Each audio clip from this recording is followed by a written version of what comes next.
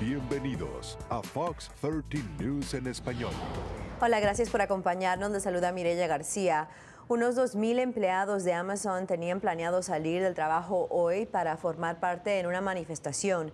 Piden mejor opciones para trabajo a distancia y que la compañía haga más sobre el impacto negativo del medio ambiente. Al parecer, muchos de los empleados están molestos que la compañía los ha forzado a regresar a la oficina después de que miles de empleados fueron despedidos. Por su parte, la compañía dice saber que los empleados van a necesitar más tiempo para acostumbrarse a estar en la oficina de nuevo y que ya tienen planes para mejorar el medio ambiente. La manifestación será del mediodía a la una de la tarde en South Lake Union. Las personas que están acampando en el centro de Burien tendrán hasta la medianoche para irse. El área entre la calle 152 y la avenida 6, 6 Southwest ha crecido como un campamento para personas sin hogar, pero ese terreno era vacío y había sido rentado a un grupo sin fines de lucro llamado Burien Cares para construir un parque para perros y ese acuerdo inicia el día de mañana.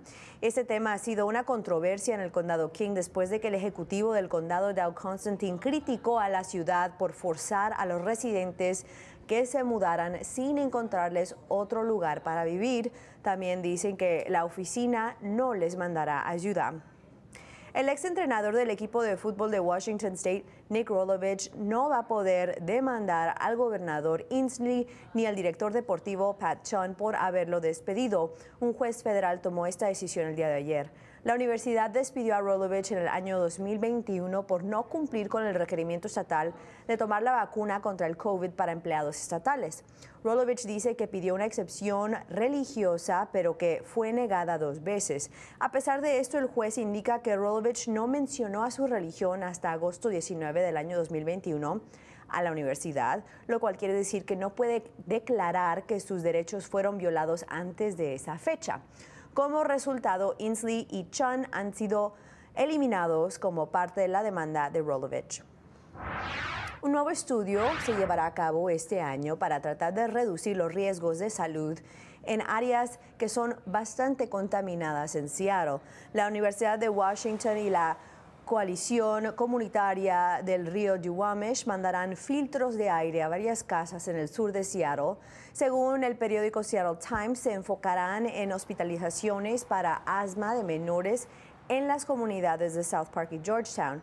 Un estudio en el año 2013 del mismo grupo determinó que menores fueron hospitalizados el 40% más en estos vecindarios comparado con otras partes de la ciudad. La tienda Bartell Drug cerrará una de sus tiendas en Ballard y esta es la segunda tienda de Bartell que ha cerrado en Ballard en un año. Eh, el Seattle Times reportando que la tienda sobre Northwest Market no tenía suficientes ventas. Rite Aid, los propietarios de la cadena, no han comentado sobre esto, pero Sí dijeron, esa misma razón fue la causa del cierre de la tienda en el Distrito Internacional en septiembre. Rite dice que no tiene planes de cerrar más tiendas. Empleados de Starbucks en Redmond han declarado que intentarán formar un sindicato con Starbucks Trabajadores Unidos. Ciertas uh, cientos de tiendas y miles de trabajadores han formado parte de sindicatos a nivel nacional y ese mismo sindicato está acusando a la compañía Starbucks de haber iniciado varios ataques sobre el sindicato, incluyendo despidiendo a líderes del sindicato de sus trabajos y cerrando tiendas donde se formaron sindicatos. Americanos siguen aumentando sus deudas de crédito. En total, las deudas de tarjetas de crédito son de mil millones de dólares a nivel nacional.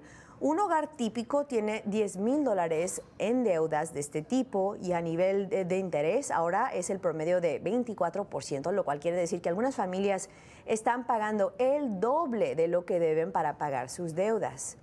Muchísimas gracias por acompañarnos y que tenga un muy buen día.